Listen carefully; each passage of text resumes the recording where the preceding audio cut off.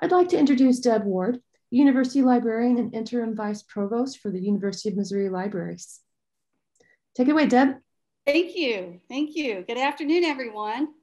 Welcome to this fourth in the University Press and University Book Talk series with the libraries. We're just so glad that you've joined us this afternoon to hear author Benjamin Moore discuss his book, The Names of John Gergen, Immigrant Identities in Early 20th Century St. Louis. You may not know that this project started when Dr. Moore discovered papers from the year 1917 in an alley dumpster. We salute Dr. Moore's recognition of the historical worth in the discarded papers, and we applaud the 14 years he subsequently spent searching libraries and archives to more fully answer the question, who was John Gergen? Well, we in libraries know, and this discovery demonstrates the lasting power that words can have when they're committed to paper. It doesn't matter how ephemeral those words may have seemed at the time. When such writings are saved, future generations have the chance to view them from a vantage point that is further along in the human journey. And that's what gives us the opportunity to learn about ourselves, who we were then, and who we are today. The immigrant experience is embedded in the heritage of many Americans, making this book relevant to so many. And we thank you, Dr. Moore, for your contribution in this book form, which the library will, of course, save for the next hundred years and beyond. So now I'd like to introduce our colleague, David Rosenbaum, director of the University of Missouri Press, who will share more information about the book and its author. Over to you, David. Thank you, Deb. Uh, Benjamin Moore is Professor Emeritus of English and is the Senior Researcher at the Center for Bosnian Studies at Fontbonne University in St. Louis, where he has taught since 1994. He earned his PhD at the University of Iowa in 92 in the field of 18th century literature. Professor Moore has received numerous awards for his teaching and research, including the Governor's Award for Excellence in Teaching twice, and the Focus St. Louis What's Right with the Region Award for Improving Racial Equality and Social Justice. In 2006, he founded the Bosnia Memory Project, which fosters understanding of St. Louis's Bosnian community and documents the experiences of Bosnian genocide survivors and their children. Professor Moore speaks frequently about the Bosnian diaspora and helped to develop the traveling exhibit Prijedor, Lives from the Bosnian Genocide, which has been shown at 21 locations nationally, including Capitol Hill. Professor Moore's research into Banat Swabian immigration unfolded alongside his work with Bosnian survivors. In 2005, as you've already heard, he found in a city dumpster schoolwork from the 1917-1918 school year produced by a nine-year-old Banat Swabian, John Gergen. The discovery sent him on a 15 year quest to uncover the identities and experiences of John Gergen and his relatives. A portion of this research was previously published by the Missouri Historical Society as Who Was John Gergen? Unraveling the Identity of an Early 20th Century Immigrant, which received the Missouri Conference on History's Best Article Award. A recent review by the Missouri Historical Review describes the book as a masterful study of the extended family Gergen and its challenging adaptation to America and St. Louis. The review further added that readers owe a debt of gratitude to Professor Moore for humanizing the Gergen family and taking readers for a rewarding journey.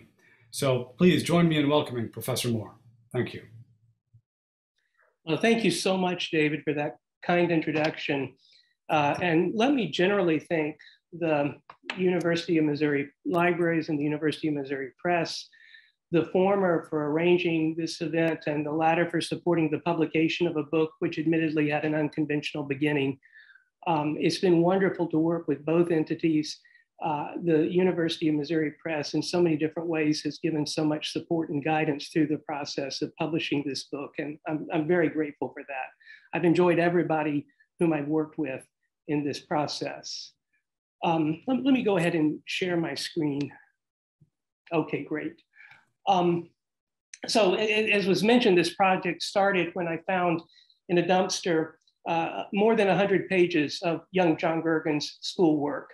And it had molded away for some 80 years in a boarded up tenement.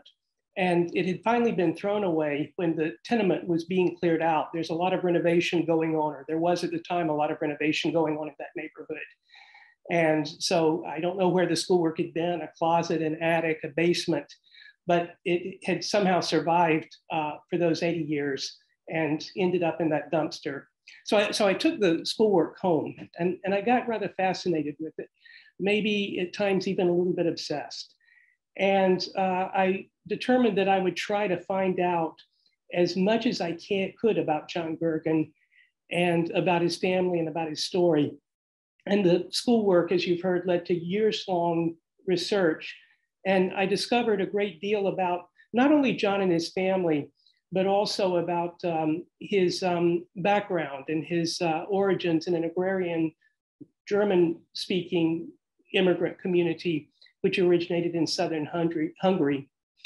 And I think the value of this research, which was rooted mainly in primary sources like immigration records and census records, records that are familiar to people who have conducted genealogy, was that it revealed the life of someone who, by the standards of his day, was a nobody. He was an immigrant and an orphan. His father, who was a man named Peter Albeck, died less than a year after immigrating to St. Louis. He died from a workplace injury.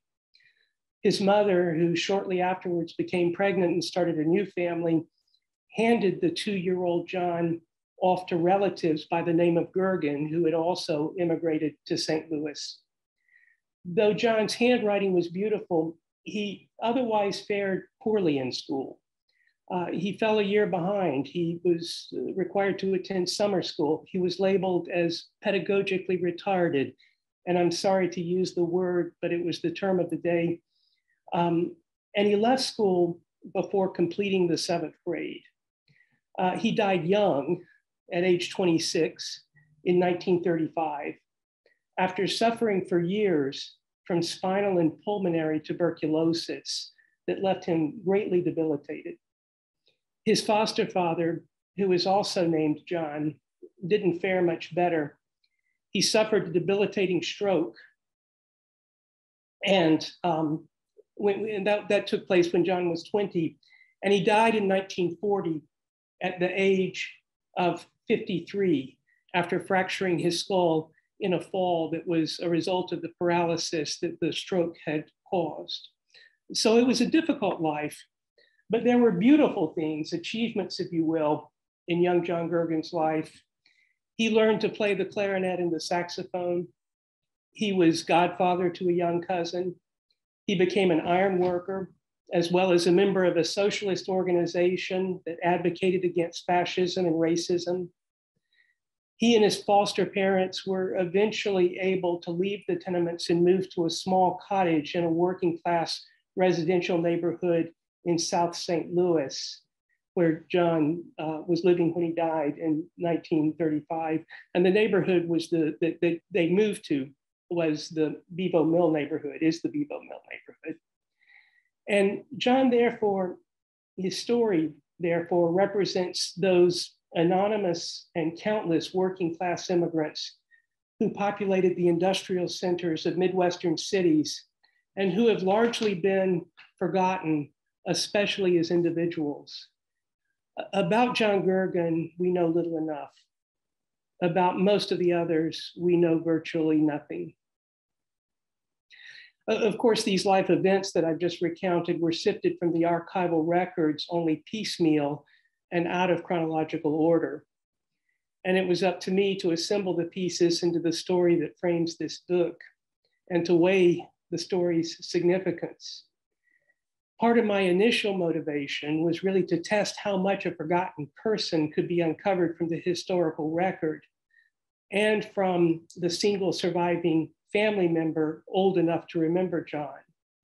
And that was his cousin and goddaughter, a woman named Anna, who died in 2015 at the age of 88. And you'll, you'll see some photographs of John as we progress further through this but um, and, and Anna was the source of these photographs. But, but eventually the interest in uncovering John's story gave way to examining how the institutions that migrants encountered shaped their experience and identities.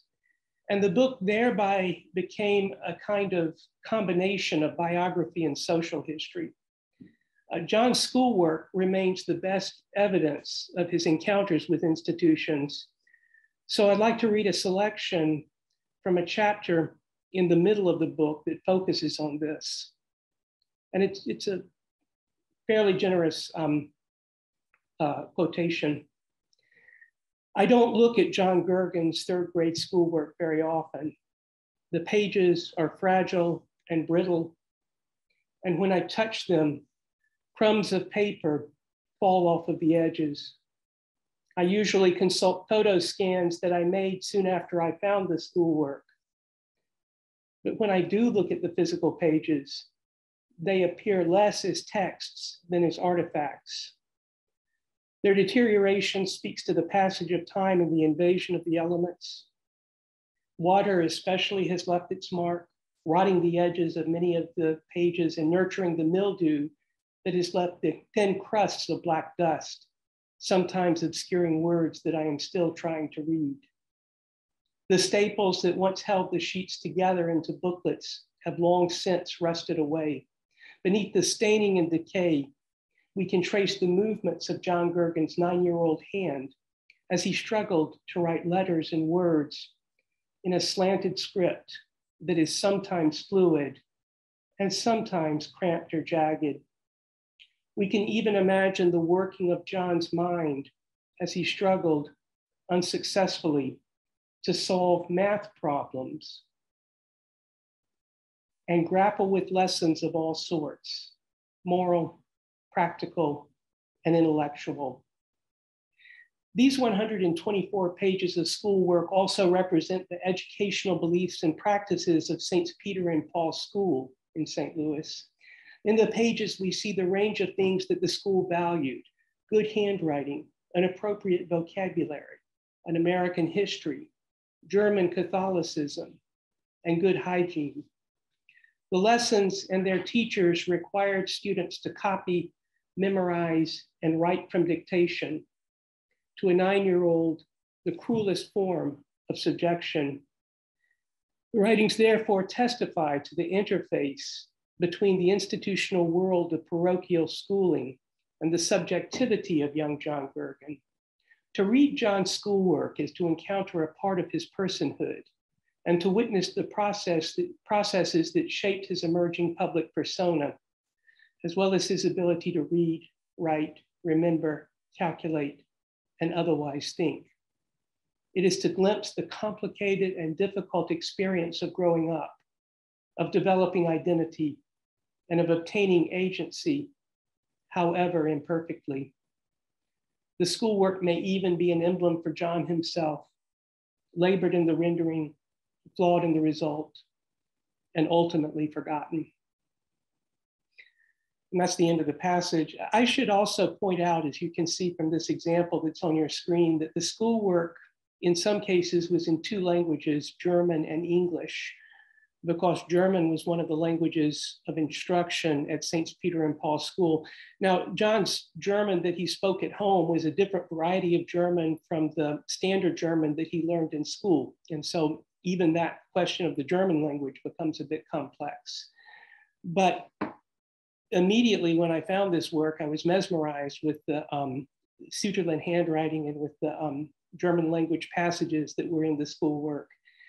It suggested John's ethnic complexity, but it would take me a very long time to discover just how complex um, John's ethnicity really was. So one, of the things by way of introduction, and it's important, John's name changed with his circumstances, and he had at least seven names, hence the title of the book, The Names of John Gergen. He was baptized in his, his Hungarian village under his Hungarian name, Janos Albeck, but at home he was called by his German name, Johann Albeck. And when in age two, he was given away to foster parents, he became Janos or Johann Gergen, and when he entered kindergarten in St. Louis, he became John Gergen. When he applied for citizenship at age 18, he became John Albeck. and he was buried under the name John Albeck Gergen. Of course, names aren't the only signifiers of identity, but they're important ones. And the names of John Gergen indicate that John's identities were malleable, contingent on his relationships to families, cultures, nations, and institutions. And this to me has been one of the most interesting parts of the project to understand the malleability of identities and the way that has played out in the lives of people who migrate. Um, I'd like to turn now to the all important question of place, which is really inextricable from the question of John's national and institutional identities. Identities all are, after all, constructed in specific places, whether it's a village in Southeastern Europe or a school in a working class neighborhood in St. Louis. The complexity of immigrant identities rise from the multiplicity of places and cultures. Physically, one can inhabit only a single space, but culturally and emotionally, we can habit, inhabit many places. Um, John came from an area of southern Hungary, and this is pre Trianon Hungary. This is when Hungary was larger and part of the Austro Hungarian Empire. It was in the immediate southeast of Hungary, just north of Serbia, just northwest of um, um, Bosnia Herzegovina, um, just uh, west of, I'm sorry, just northeast of Bosnia Herzegovina, just east of Croatia. And you, you can make out a little it's kind of a parallelogram of territory that's enclosed within that blue box. Uh, the Banat was highly multi-ethnic. And John was part of a Catholic German minority known as Swabians, who lived among Hungarians, Serbs, Romanians, Romani, and Jews. Um, and just a note about pronunciation, it's, it's often pronounced in the United States Banat Swabian, but after talking to people from the Banat, I have learned to retool my pronunciation to Banat Swabian because this is what's generally said in Hungary and in places where Swabians have since migrated in Germany. Um, and while we're talking about the Banat, while we're on that part of John's geographical past, um, let me look ahead here just a bit to 1920, 10 years after John migrated to St. Louis as a two year old. And that year, following World War I, the Banat was dismantled as part of the settlement of World War I with the Treaty of Trianon. And part of the Banat went to Romania, part of it to the newly formed Yugoslavia, and only a small sliver of it in the Northwest remained in Hungary. So, so if you can take that image from the map here and transpose it into the lower right-hand corner of the map here, you can see that division of this, of, of this part of Hungary. Uh, the part of the Banat that John was formed from went to Romania, probably without his knowing it. Uh, after all, he was only 12. And certainly um, he um, did not realize that um, this change made him no longer Hungarian, but Romanian. And in fact, I'm going to have to backtrack here just a little bit, but when he filed his declaration of intention to become a US citizen, you can look at the lower part that has the um, yellow highlighting under it. He applied both as a German because of his ethnicity and, and as a Romanian because of the fact that his hometown from where he was born was now in Romania even though he had never been there. It's yet another complication in an already um, complicated identity. Um, but back to 1910. John was part of a transnational circulation of labor migrants that brought tens of millions of people to the Americas over the course of a century up until World War I. By 1900, these migrants came increasingly from Southern and Eastern Europe, what is sometimes um, um, called in the United States the new immigration. And, and increasingly, people sought work in the industrial cities of the Midwest as well as the East Coast. Uh, also, many of these migrants returned home, and John himself returned to the Banat at the age of three and spent a year there. He therefore um, crossed the Atlantic uh, three times. And um, in St. Louis, migrants from the Banat settled almost exclusively in the urban neighborhood of Soulard, which is one of the most um, densely populated, or which was at the time one of the most densely populated neighborhoods in uh, St. Louis. Uh, previously, it had, been a largely middle class German neighborhood, but by 1900, many of the houses were divided into tenements, and factories were as numerous as churches. St. Louis at the time was the fourth largest city in the US, with more than two thirds of a million people. And this, and, and in, in this map, west is up and east is down towards the Mississippi River. Um, and uh, the eastern portions of the city, which were also the oldest and most industrial portions of the city, were among the most thickly populated parts of the city. Um, the tenement where I found the schoolwork was in the heart of Soulard, which in 1910 had a population of about 50,000. Um, well over 5,000 of Soulard's residents, but probably closer to 10,000 were Banat Swabians. The others being Poles, Czechs, Slovaks, Serbs, Romanians, and a few remaining Germans who had not moved to the newer subdivisions in the south of St. Louis. Remarkably, the Banat Swabians until now had been entirely omitted from the published histories of St. Louis even though they were to become ancestors of tens of thousands of St. Louis's living today. And, and Soulard in 1910 was a remarkable place, crowded with shops, warehouses, breweries, and mills that stood shoulder to shoulder with the tenements. And most of these tenements had formerly been um, single family residences. There might have been a servant family living there, but they had been divided up into um, smaller apartments. Uh, bordered by the Mississippi on the east, it was crisscrossed with streetcar lines and dotted with saloons and churches. It was smoky, noisy, and crowded. And the factories there were dangerous.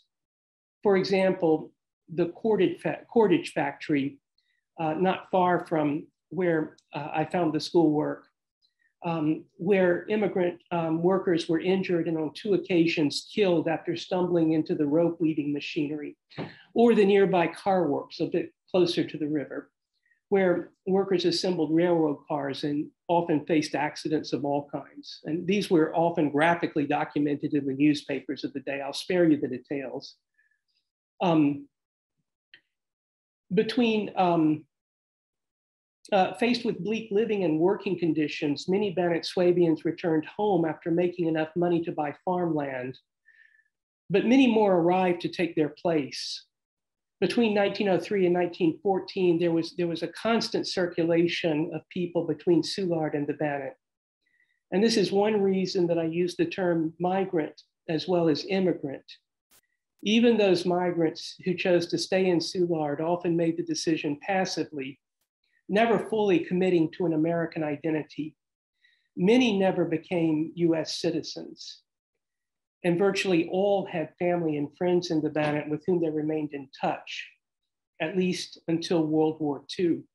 And so, up until, until World War II, um, e even during World War I, they were a very transnational community. Uh, as the influx of migrants into Soulard continued to increase, the various authorities that oversaw immigration, and, and that ranged from governments to the steamship companies in Germany to the St. Louis city government, became preoccupied with finding ways of sorting and processing migrants so that they could be transformed into obedient industrial workers and citizens. And so the spaces that these migrants inhabited um, from the steamships themselves to the schools that their children attended, what I often call microgeographies, became sites of disciplining behavior and reshaping identities. We, we see this process, of course, in, we, we've seen it in John Gergen's schoolwork, and it was also at work in places like factories, the neighborhood bathhouse in Soulard, and public libraries, uh, not to mention the courts where immigrants um, became naturalized. But in the interest of time, I'm just going to focus on two examples of specific places where Swabians and other migrants who lived in Soulard faced efforts to reform how they acted and who they were. And you'll notice that underlying everything is this ubiquitous form of the grid, where lines of authority position people according to predetermined norms. Whether it's the grid of the streets in Soulard, the grid of John's teacher's grade book, or the grid of monks in the steerage passage. It just, uh, it, it, just appears again and again as a way of ordering um, populations. You, you, know, we look at ships manifests, for example. I don't have an image of any um, for this presentation, but they're in a grid. You know, we look at the census, it's in a grid. And um, everywhere we turn, um, we find this as an ordering mechanism, which is seeking to find ways of understanding this diverse population um, that um, authorities are trying to really get their heads around. But let, us start with the steamships. All of the steamships that John Gergen's family migrated on were built after 1896, so they were really newer steamships and they housed very carefully designed environments for the passage. And a great deal has been written, especially for somewhat earlier passages in the 19th century, of what is sometimes called the horrors of steerage, which was the lowest class of travel. But little has been written about the ways that steerage in the late 19th and early 20th century centuries uh, actually prepared passengers for the working life to come. It was, a, it was one of the points of transition from backgrounds that were often rural to backgrounds where people would be in confined spaces in factories. Even if a migrant was lucky enough to travel second class, which was very rare for labor migrants, the passage was characterized by confinement and routine. The ship's architecture itself had multiple classes of travel reflecting the multiple classes of society. And this image here, which is um, of the Kaiserin Auguste Victoria, um, which was the ship that John was on along with his foster mother the third time he crossed the ocean and the second time he crossed uh, from east to west, uh, shows both the second class accommodations and beneath it, the steerage accommodations, those boxes with X's are the individual bunks in steerage. Um, as I write in the book, in the steerage, efficiency was maximized in the face of diversity of language and culture.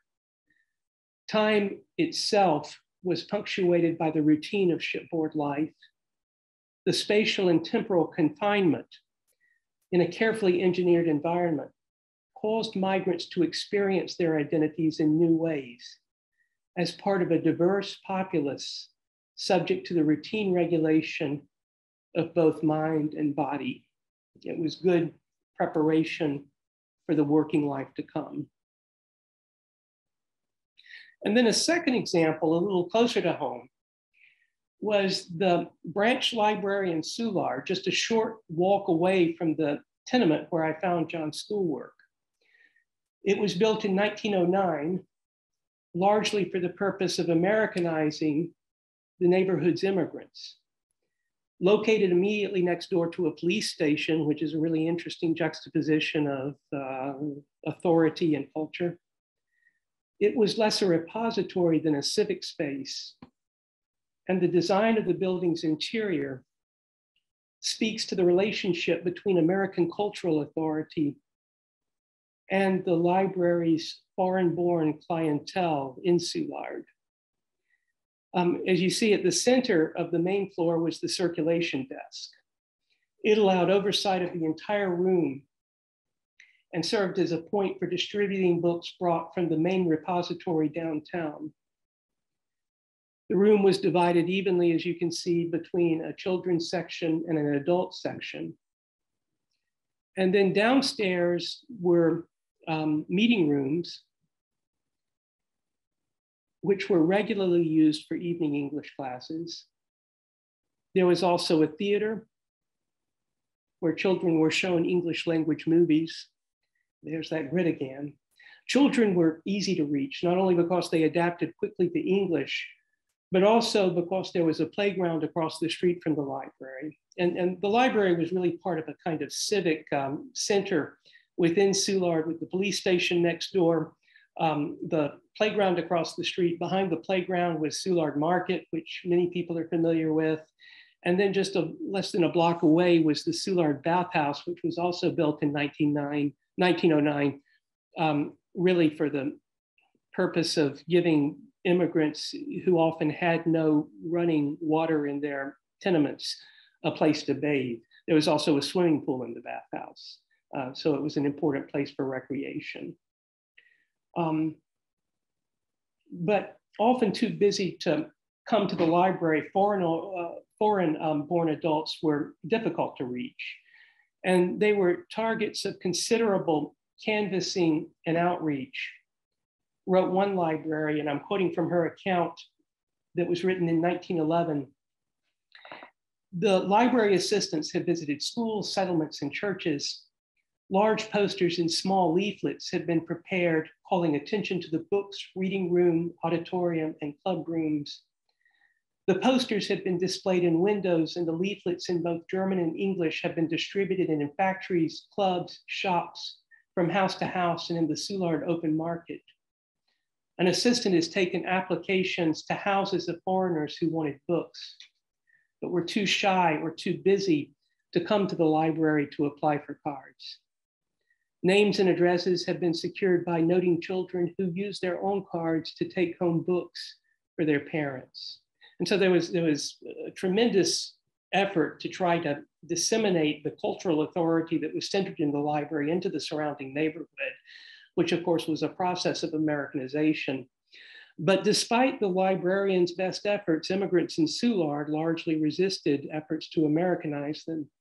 Um, in 1917, the year that the US entered World War I, the same Soulard, Soulard librarian who narrated that um, account of the outreach efforts um, wrote of an incident in which, and I quote, Hungarian women were dragooned by a social worker and a steamship agent's wife into organizing to study English.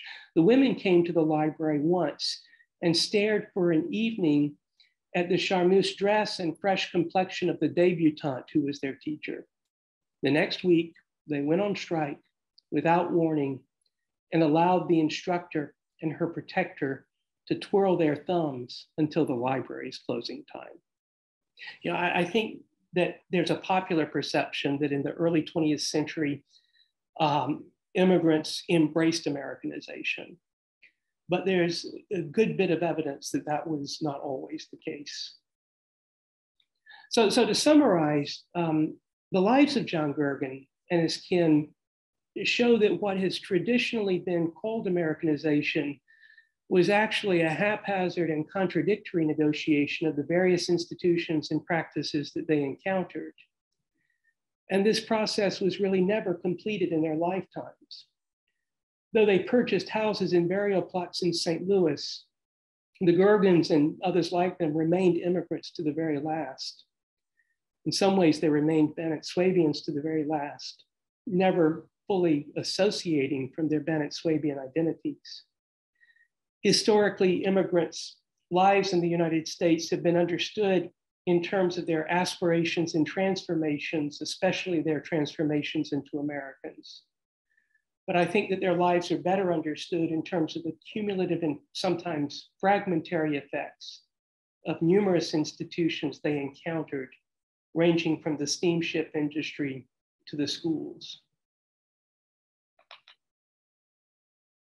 I'd like to close this portion of the event by considering briefly what happened to John Gergen. I mentioned before that he died in 1935 at age 26 of tuberculosis, following at least four years of sickness that affected his spine as well as his lungs. One, of the memories that um, John's goddaughter Anna had of him was seeing him in a body cast. But, but to complete the tragedy after his death, John Gergen was almost entirely forgotten by his family as well as by history. In this respect, he shared the same fate as the great majority of working class migrants whose names and stories are now seldom uttered, at least not at the level of the individual. Also aiding the forgetting were a number of changes in St. Louis society the most obvious was the assimilation of the younger generation, the generation born in the United States, who generally married outside of the Swabian community and made substantial efforts to leave the working class behind. But the destruction and revitalization of Soulard, the former in the 1950s and 1960s, and the latter, the revitalization in the 1970s and 1980s, also contributed to the forgetting, especially the forgetting of life in the tenements and what came before that. In the 1950s and 1960s, more than half of Soulard was razed, and what remained was scarred by interstate highways and other thoroughfares that split Soulard into multiple sections. And then, beginning in the 1970s, Soulard was slowly gentrified so that its history as an early 20th century working class immigrant haven was largely erased. Um, in, in the popular culture of Soulard, it's really the French beginnings that go back to the late 18th and early 19th century that are celebrated, most notably in the Mardi Gras, not the later German um, um, settlement within the neighborhood and certainly not the later settlement in the late 19th and early 20th centuries by migrants who came from Southeastern and Eastern Europe. And so I'd like to end by reading from a section of the book that I hope brings these strands together. And again, it's a fairly generous um, quotation. Sometimes on my walks, I stop at 1855 Menard Street in Soulard where John's aunt Anna Berger gave birth to a stillborn son and to her first child to live. And, and eventually she would also give birth to Anna, John's goddaughter. New row houses stand there now, built during the pandemic of 2020. When I wrote that, I didn't know that it would still be the pandemic in 2022 looking northeast through a chain link fence across the chasm that holds the highway. I can see the roof of the old city hospital where John's birth father and foster father both died. It has been converted to luxury apartments. A little closer to the highway are the former grounds of the St. Louis Cordage Company. A new Protestant church stands there. The cordage factory itself burned to the ground in 1994 in a spectacular fire that sent debris tumbling onto the southbound lanes of Interstate 44. Arson was suspected. Now the noise of traffic makes it difficult to hear anything else. It is easy to get lost watching the patterns of the trucks and cars merging and changing lanes where hundreds of people once lived and worked. As for young John Gergen, daily I wonder about him things that I cannot know. So many questions could be answered if I could only find the right documents. Others are impenetrable. Did he ever meet his half brothers and half sisters? Did he travel? Did he read? What were his favorite books? Did he go to the movies? Did he drive a car? Did he miss his birth mother? Did he forget her? Or was forgiveness even an issue? Was he able to adjust his expectations about his life and accept, accept the limits that were placed on it by his birth father's death, by his failure to achieve in school, by his foster father's disability and by his own tuberculosis? At what point did he understand that his life was coming to an early end? Did he fear it? Was he able to accept the fact that the possibilities that give meaning to the lives of so many of us were simply not available to him?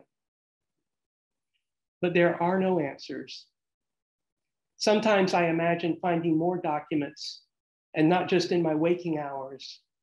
Once, in an image from my own childhood, I dreamed of finding bushel baskets of John's letters and diaries sitting beside a field of green beans but I am convinced that there is nothing more that can be known about John Gergen. Nor could any amount of research redeem the hard truth that John's thoughts and memories died with him. John is therefore what all of us have the potential to be. None of us can be certain that we will be remembered, or for that matter, that we will be forgotten. But if we are not consigned to oblivion, then it will be the institutional identities that remain. The names, the vital records, and the fragments of expression that will offer glimpses into who we once were. Thank you. Wow. Thank you so much, Dr. Moore. I feel like you touched on so many different elements in this book just by um, tracing the life of John Gergen and the different kinds of things he may have experienced. And yet, uh, in only the 30 or 40 minutes you've had to speak, you've only been able to touch on some of it.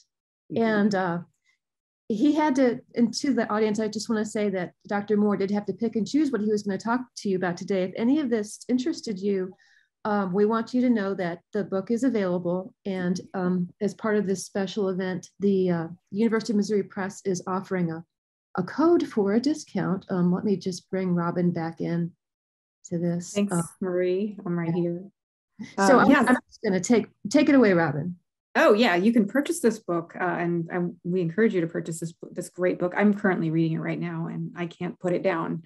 Um, we are offering it to, uh, today and for a limited time for a special price of thirty dollars plus free shipping. Um, if you go to our website, upress.missouri.edu, um, and use the code MORE30 in the uh, shopping cart. So, and that's good through March 1st. So go take it away, Marie, if you have other comments. I have so many questions and I know our, our viewers have a lot of questions that I'm really excited to pose to, to Ben. Yeah, sure. Um, what we want to do now is move right into the question and answer portion of the presentation. Right now it's quarter to five. We'll, we'll do questions up to five and beyond. If, if people have additional questions, we can go beyond that time. And um, uh, looks like some people have entered things in the chat box, which is great. Remember that the Q&A box is there as well. Um, so uh, yeah, let's just go right, let's start with the questions. I'm interested, I can't wait for this part. My favorite part too. Um, I will start with a comment in the Q&A box uh, right before we started um, uh, from, it looks like uh, a student of Ben's. Um, uh, someone, comment, I mean, uh, someone commented that I'm in St. Louis. Ben was my professor and mentor when I was a student at Fontbonne. I, of course, am reading this his book with lots of excitement. It's wonderful. Thank you. Um, let's see. Um, I got, I have a lot of questions in the ch uh, chat box that I'll start with. Um, some of the, the questions have sort of been answered among the, the participants, which I think is cool. Um, but I'll just, um, someone asks, uh, Diane asks, is the Soulard Library still there? Um, and then Ellen uh, comments, that, no, sorry, Jane commented that she believes that the library is still there but closed. Right. Um, and then um, there was another question about the, um, uh, the 1918 influenza. Um, was there any mention of the 1918 influenza pandemic in the papers? And, and Jane also touched on that on that one. Um, not a lot was mentioned. Um, but if you if you have other thoughts or other you know comments yeah, about the 1918 influenza, go for it. I write about that in detail in the book because it really was important in John's life. Um, and uh, it, as you observe, was during the year that this schoolwork was produced, which was the 1917-1918 school year. Uh, it was really the following fall in 1918 when the influenza became pronounced. Um, so, so there's no direct record in the um, in the schoolwork, but it, it was interesting to extrapolate from the historical record um, how that affected John. And the times, for example, when his school was closed, when the library was closed in Soulard, when he was really essentially confined to his apartment in the tenement where I found this schoolwork, probably with his foster mother, Rose Gergen, present and his foster father gone most of the day working. Um, but um, it really affected the way in which he experienced the neighborhood around him the other significant thing was that he lost a really close um, cousin who was more like an uncle who lived two doors up the street from the Gergens, uh, a man named um, Jacob Gergen. And um, I'm, I'm, sorry, not Jacob Gergen, that was, that was uh, an uncle, uh, Nick Gergen. And uh, Nick Gergen died from the influenza when uh, it made a kind of comeback in the um, early months of 1919. Um, and, you, you, know, as I write in the book, um, really in 1917, death was, and 1918 to an even greater extent during the influenza, death was everywhere. But a nine year old boy can find ways of distancing himself from it. But when his um, cousin, who was really more like an uncle, died, his cousin and his foster father were very close to one another. It really hits home and it alters, as I put it in the book, the balance of people in John's life. Uh, so I think it was a significant event for him. I think the influenza was a very significant event for him.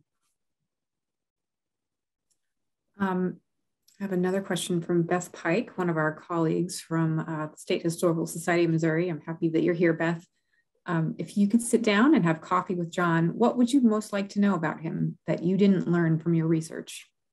Wow, what a great question, and something that I've thought about so many times. And what I want to know more than anything else is whether he, he had a sister who was also raised by foster parents in St. Louis, and whether he knew that this sister was a sister and not a cousin.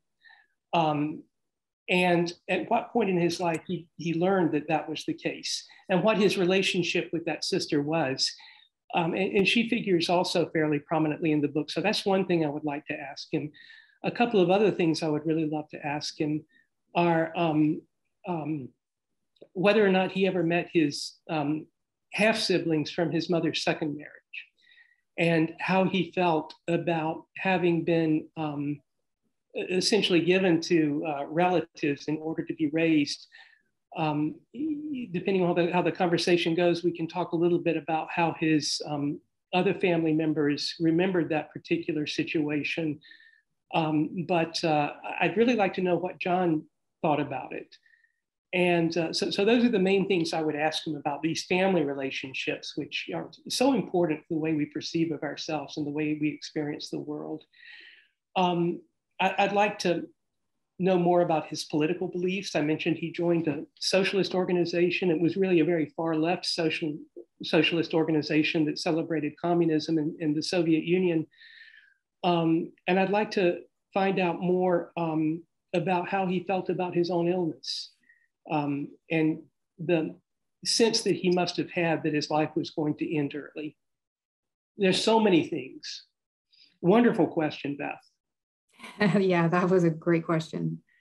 Uh, I have so many questions about John Gergen's mother and and how how it was that she was able to to give her first family's children away. Um, but I'm going to move on to the next questions. We we're getting a lot of questions, um, so I will get to all of them. So hang tight, everybody. Um, Nancy says, in addition to the library, were there settlement houses? Yeah. There were, and I write about those a good bit in um, the chapter of the book that focuses on Soulard. And there were um, several in the Soulard neighborhood. Um, there was one Catholic settlement house, which was probably the one that affected the Gergens the most. and it was uh, called the Guardian Angel House. And um, it's very likely that the Gergens, especially when John was adopted by them or, or fostered by them, is the better word, in 19, um, beginning in 1910, that they, in one way or another, benefited from this um, from the services offered by the Guardian Angel House. My, my guess is that they would have turned to that house because it was Catholic and because the Gergens were Catholic.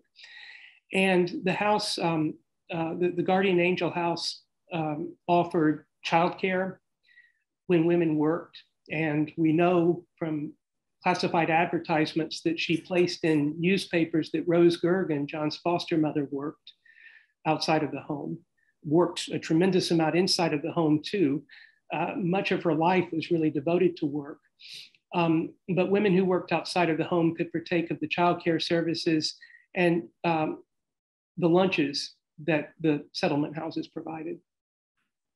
But they were big factors, the settlement houses. Um, there was the Kingdom House, which was, I believe, Presbyterian, and then there was the um, um, th th there was a, another house that um, was non-denominational. There was another one that was um, run by um, Unitarians. So there were there was quite a lot of settlement work in the neighborhood. Thanks for answering that. Thanks for that question. That's a um, great question. Yeah. Yeah. I'm going to move on uh, to the questions as they've come in. Um, uh, John asks a pretty good question, a really good question. Does it look as though John Gergen used Sütterlin interchangeably with the American script, or was it something that he only used when he was doing translations? Uh, yeah, I, I, um, I, wish now I had put some other images of the schoolwork where he's writing entirely in Sütterlin. And uh, he apparently was pretty good at it. His spelling was not great in either English or Standard German, but, um, and, and, that was pro probably um, I, have sometimes wondered if he had a learning disability because he had problems with uh, correspondences that were phonetic. And of course, English is notoriously, notoriously unphonetic in its spelling, but, but uh, German is not, and he still had problems there. Um, but he apparently had really great eye-hand coordination because his Sütterlin as well as his English script was just beautiful. But there are many pages that are only in Sütterlin and only in German. And um, it was quite a challenge to learn enough about Sütterlin to be able to decipher those. And I will confess to having had some help to pe from people who are a lot better at German than I am uh, in doing so. But Sütterlin is now not readable, I understand, even by most Germans. Um, and uh, it was the script of the day, of course, in the early 20th century. And I think it's just remarkably um, interesting. Mm, wow. So good question. Um, and uh, let's see. Uh, and and comments very interesting. Thank you. My entire family, both sides, immigrated to South St. Louis in the mid 1800s. Um, might be interesting to know where we're from, Anne. Um, if you want to put that in the chat box later, somewhere down the line. Um, let's see. Moving on. Um, Anne, uh, and Ben, thank you for your touching presentation, um, made so wonderful by your obvious care for John and the dignity that you show him uh, in how you tell his story. Thank you. Um, Alan uh, says, my paternal family was German ancestry and my grandmother lived directly across the street from Bevo Mill. Uh, oh, thank you. Thank you for your work and your presentation. Well, thank you. Did I pronounce that right? Bevo? Bevo? Bevo, thank you. Um, David uh, asks, did the Banat Swabian community mix with other, Im other immigrant or migrant communities in St. Louis, or did they remain separate and keep to themselves? If they mixed, with which migrant groups? The generation who migrated, not the generation born in the United States, was remarkably self-contained. Um, and this is shown through the patterns that they um, had in, in, sharing housing arrangements, as well as the marriages that took place here in St. Louis, here in Soulard, um, after they arrived, uh, it's fairly unusual for somebody from that generation to marry someone outside of the outside of the Swabian community.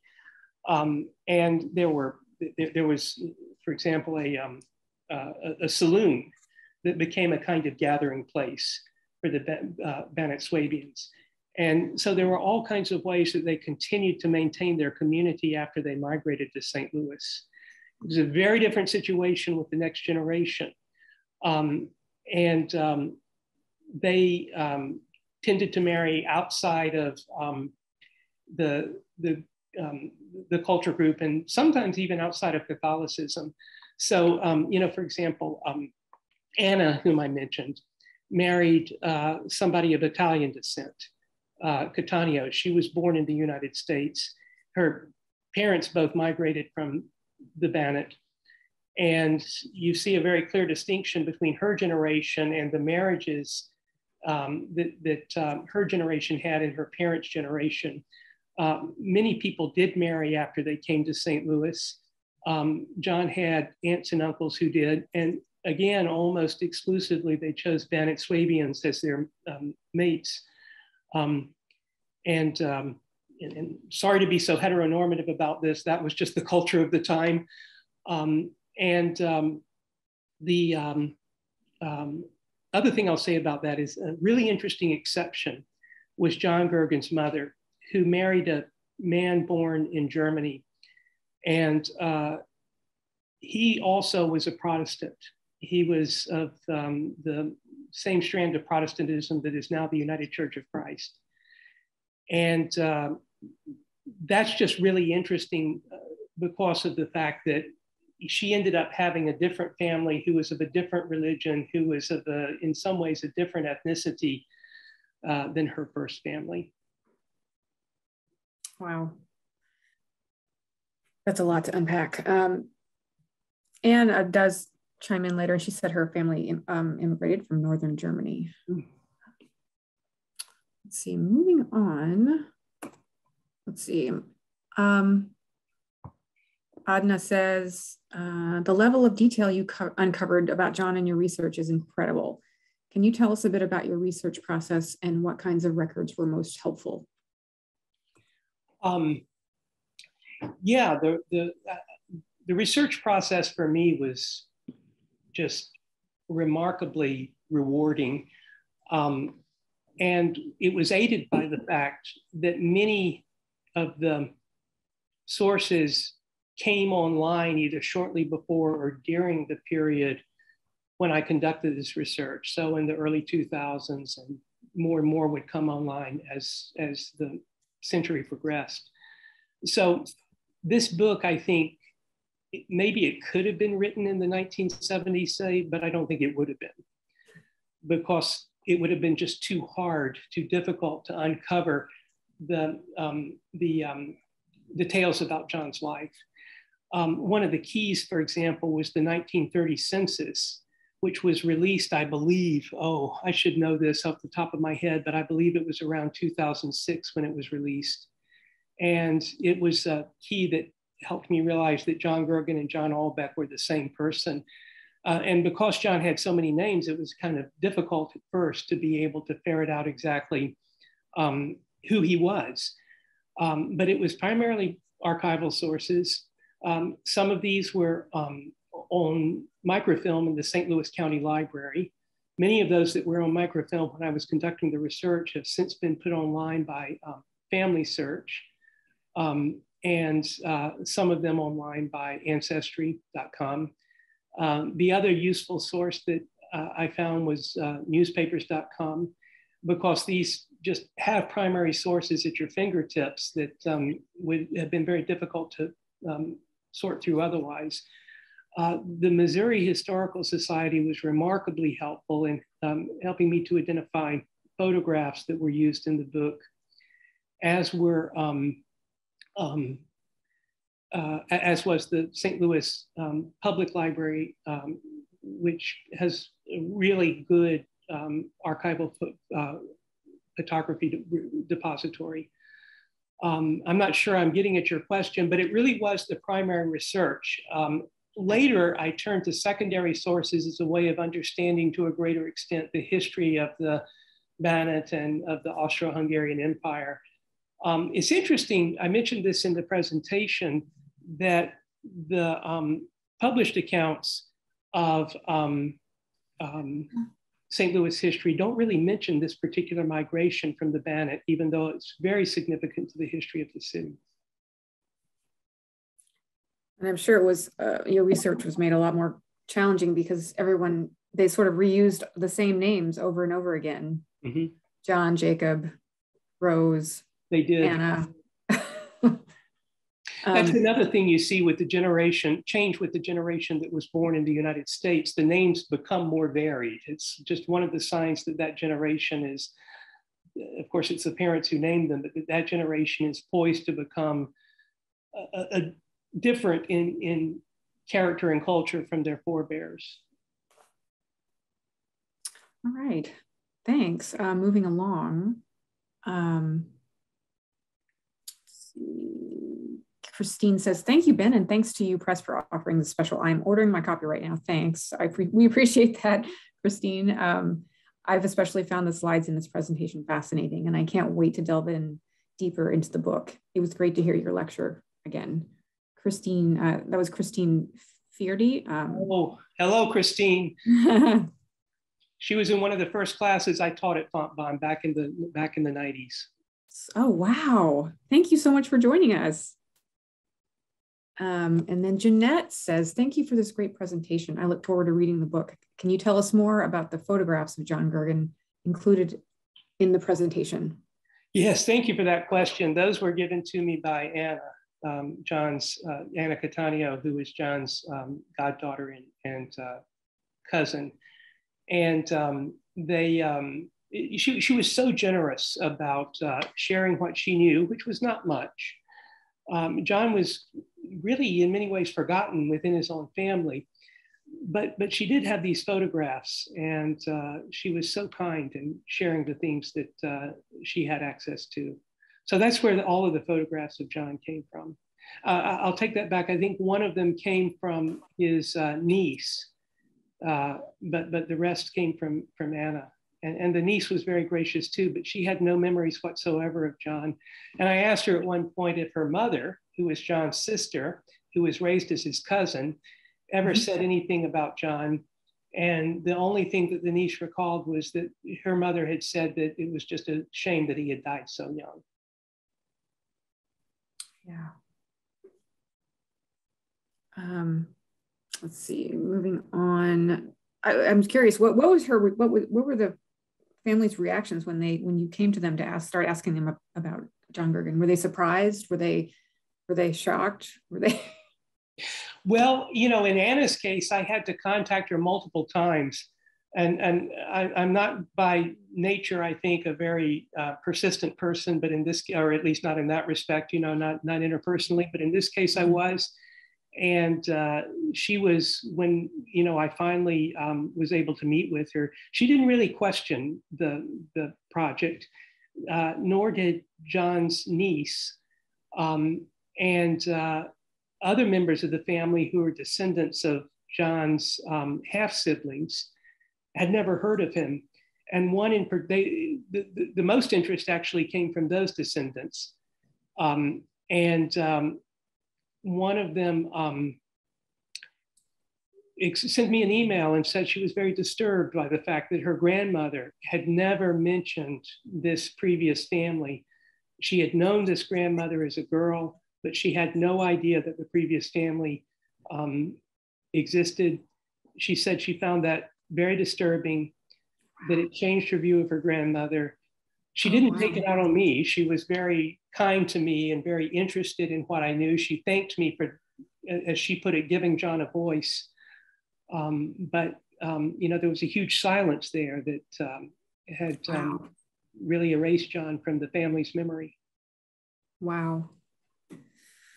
Um, we've got a lot of questions, so I do want to move on to them. So this is this is so cool. Um, Beth jumped in. Uh, she said, "Ben and Robin, terrific presentation." She had to she had to jump off, um, but she said, "Congratulations again on the book, and and they're they're happy to promote it at the State Historical Society uh, of Missouri.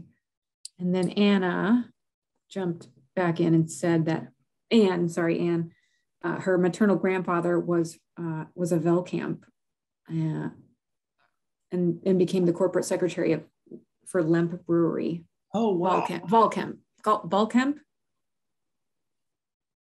So um, I've never heard of that brewery. I'm I'm assuming it is not still active. Uh, it's, it's, it is not still active. It became the International Shoe Company uh, after the Lemp Brewery closed, and but the building oh. is still there, and uh, it is a, an amazing architectural remnant in St. Louis, and and the Lemp Brewery's history is just fascinating. Wow, the International Shoe Company, which is um, where Tennessee Williams' father brought their family when when they moved to St. Louis. which by the way is another book we published so stay tuned we'll, we'll, probably end up doing a talk about that one too um, john says thank you for your, your wonderful presentation uh, carol says do you have a contact email where we can talk we could talk more this is carol uh, i can't see your entire name um, if you feel comfortable then if you if you want um, if you want to give your email out um, sure. Would it be that, or I put it in the chat, or to just uh, say it? It's pretty um, straightforward. Yeah, put it in the chat, if, or whatever. Yeah, if you want to put, if you could put it in the chat, that'd probably work. If you feel comfortable doing so. Okay. I absolutely do. Okay. Um, and then Marie, I'm sorry, Marie, I, I didn't get to your uh, your comment. She says we understand some may have to leave at 5 p.m. Uh, it's now 5:09, uh, and that's okay. Um, we'll keep answering your questions though, as long as they come in um, or until 5.30, whichever comes first. Uh, I'm excited to answer all your questions, so I'm gonna keep moving. Um, Elaine, let's see. Elaine says, my grandmother was born in Rhineland, Missouri in 1902. I have her baptismal certificate in the German, in German from the, from the ENR church. Wow. Wow. Um, let's see, um, another attendee says, could you speak a little bit more about this socialist organization? I've read the book and recall descriptions of so much activity in Soulard, political of various sorts and other types. Yeah, the particular socialist organization that John was a part of was um, called um, the Workers' Sick and Death Benefit Fund. And it had started out as a German organization in the late 19th century um, it had expanded and had quite a few chapters across the United States by the time that John joined in the 1920s. And it published a journal, which was called Solidarity, that was sent to all the members. And this was um, really interesting from a research standpoint because it was the only reading material that I know John had his hands on that, that you know he, he actually received in the mail when it came out every month. And uh, when John died, um, John's name was duly noted in the deaths section of Solidarity. But um, Solidarity was really, as I mentioned, um, pretty far left. And it uh, took um, very clear positions on any number of questions that had not only to do with worker health and worker safety, but also larger questions like the rise of fascism in Germany.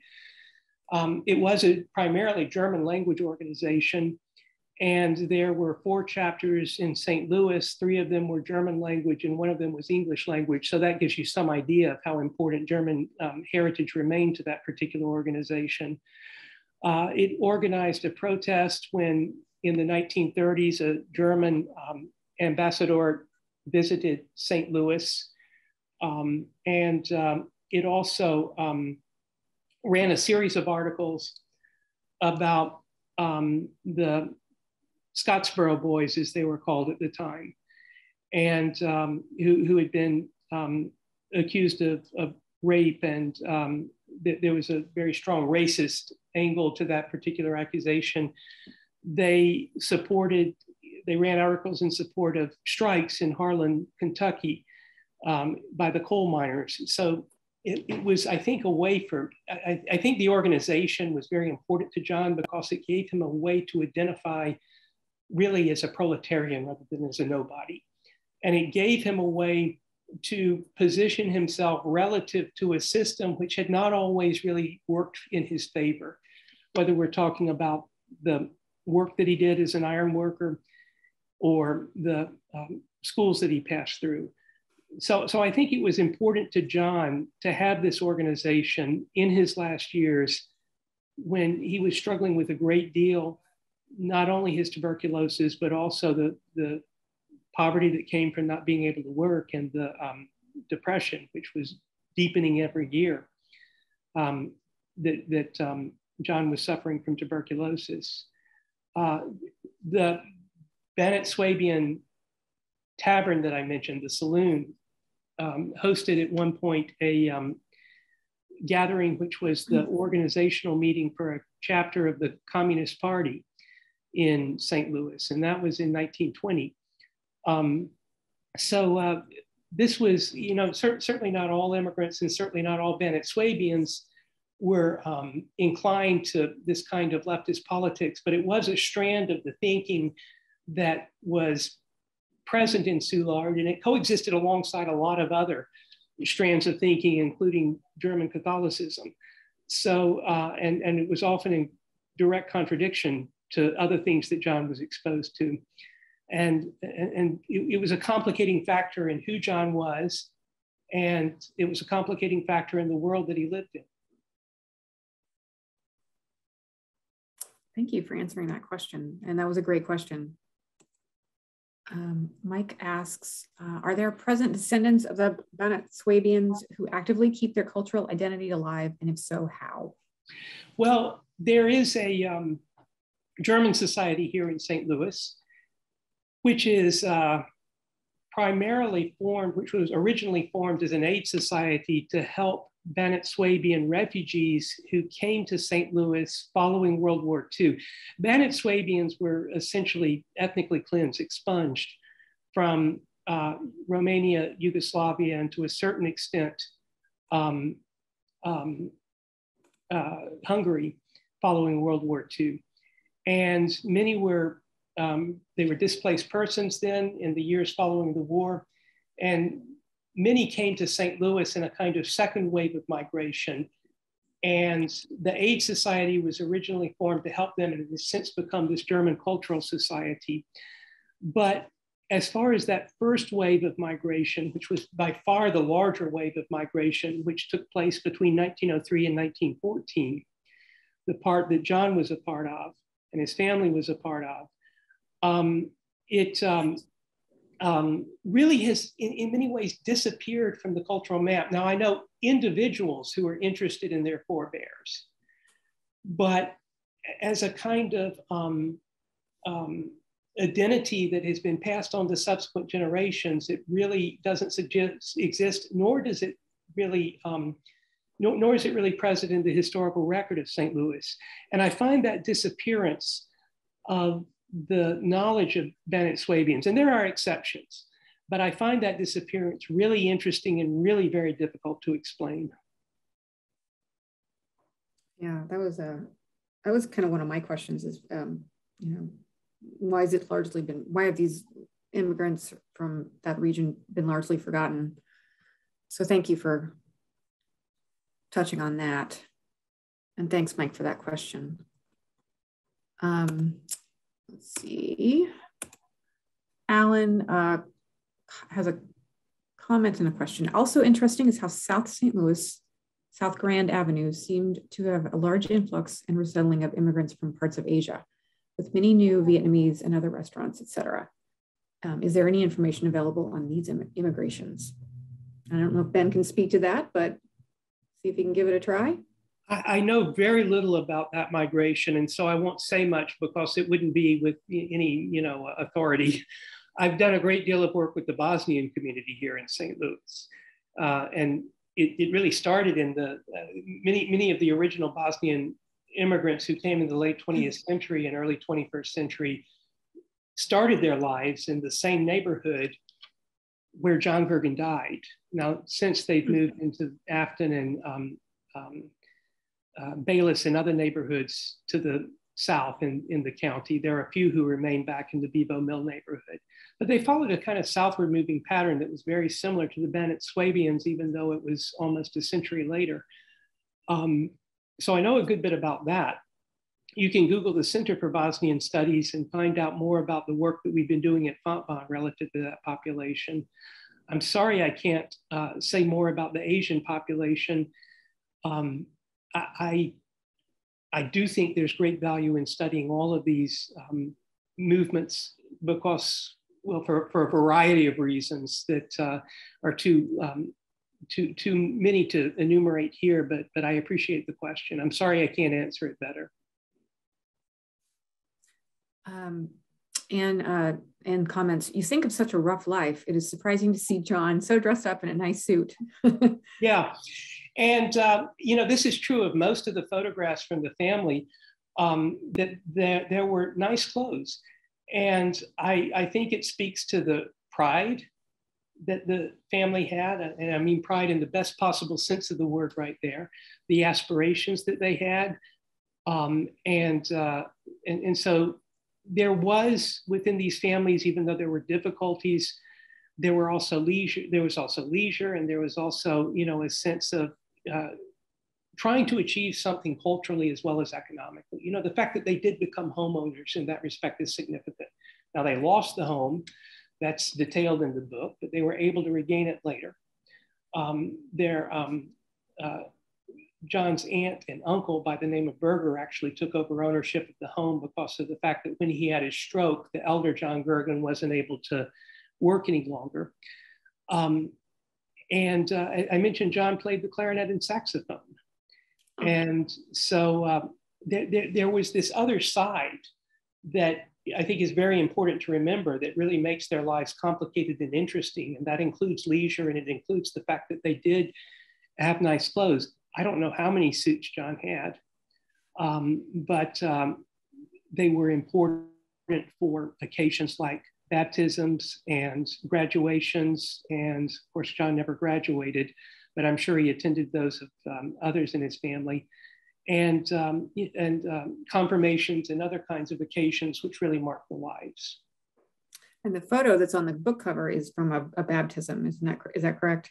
That's correct. That is Anna, who was baptized. She is the infant that um, that. And that's uh, John Gergen and his cousin. It's his cousin, exactly. Yeah. Yes. It's very confusing because there were two Elizabeth Bergers, and she was one of them. The other Elizabeth Berger was his sister, uh, who I think John thought of as a cousin. But um, that's who that is. Yes. All right, um, Marie my colleague at the library asks, question from me, how did these papers get saved in a house for 100 years without getting discarded long ago? Like, were they behind a wall or something? That's I a really good question. I, I wish I knew. I think they were probably on a shelf in a closet in the attic or in the basement um, where they could lay flat um, and uh, that um, they were preserved in that way and when this house was gutted, it, they were just tossed out. But I don't know exactly where in the house they may have been. There were, of was course, I'm sorry? Was it a house or was it an apartment building that was being? Uh, it was a house that had been divided into an apartment building. Okay. Yeah, it, it was actually a duplex. Mm-hmm. And uh, it um, had several apartments, and there were many people, it had six apartments, in fact. Uh, that had been carved out of the house, which is typical of St. Louis tenements. And there were, and, and the Gergens actually moved out of that house in 1920. They moved to an apartment in a, in a neighborhood of St. Louis called the Gravois um, Park neighborhood, which is about halfway between Soulard and Bevo Mill. And um, they um, left that schoolwork behind and it just somehow survived the numerous tenants who moved in after them. One of the things that we see among working class people in St. Louis, especially in the 19 teens and the decade before, um, is, is a great deal of mobility, moving sometimes every year. And in, in the case of the Gergens, they you, you, can see a certain stability creeping into their lives as the number of times that they moved over a given period um, dropped. So they stayed in the um, house at 916 Allen Avenue, where I found the schoolwork between um, 19 uh, 16 and 1920. They stayed about the same number of years in the apartment in Gravois Park, and then the, John spent the rest of his life from 1924 on until 1935 in the cottage in Bevo Mill. Hmm. Um, Anne jumped in and, and mentions Lemp Brewery closed during Prohibition, and it is and it has the Falstaff logo. So thanks, Anne. Um, David says, thanks so much. Such an interesting microcosm of uh, American migration. And let's see. Anne said, thanks so much. Thank you very much. Great presentation. Um, and then she has uh, one more question, which we probably all wonder. I'm curious what made you look into the dumpster? okay, that's fair. Read the I, book, buy the book, Anne, and then you'll find out. I, I was I was jogging and uh, I um, it was I was jogging down the alley to avoid the traffic on um, Allen Avenue, and uh, it was a construction dumpster, and there was enough visible on the top of the dumpster that I found interesting. And I'm just not shy about going into dumpsters if there's something that looks interesting. I could tell it was old stuff. There was a, there was a section of a barrister bookcase you know, that I still have. And, uh, there was a um, um, enameled basin, which I also still have. In fact, I pulled a lot out of that dumpster besides just the schoolwork, but I don't write about that in the book. Um, and um, I um, even went back the next day to see if I had missed any of the papers because that's what I really got um, fascinated with. I hadn't missed any of the papers, but I found everything from a silver plated uh, tea pitcher from the late 19th century to uh, wow. Uh, it had a date on it of 1883 and to a, it was it was silver plate, not sterling silver, but it was still interesting to um, toys that I sometimes wonder could have been played with by John Gergen.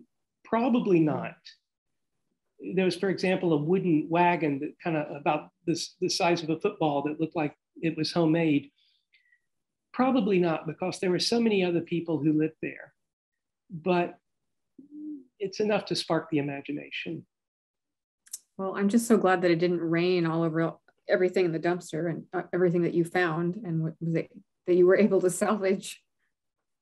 How, how many how many days over how many days did you keep going back to the dumpster? I, I only went twice. Okay. Okay, that was the first day when I found the papers and brought them home in the in the enamel basin, and then I went back the next day just to see what I had missed. That's great. Thank you for asking that question, Anne. That was great. Um, if anybody else has any questions, it looks like we're getting towards the end of of the of the questions. I want to thank you guys so much for your great questions. Um, just and and just shout out if anyone has a last question. Um, and Ben, if you have any, you know, final parting comments. I would only say thank you for your interest. It was uh, really wonderful to um, have this audience today and these questions. Uh, and I really appreciate everybody showing up. And once again, my gratitude to the University of Missouri Press and the University of Missouri Libraries.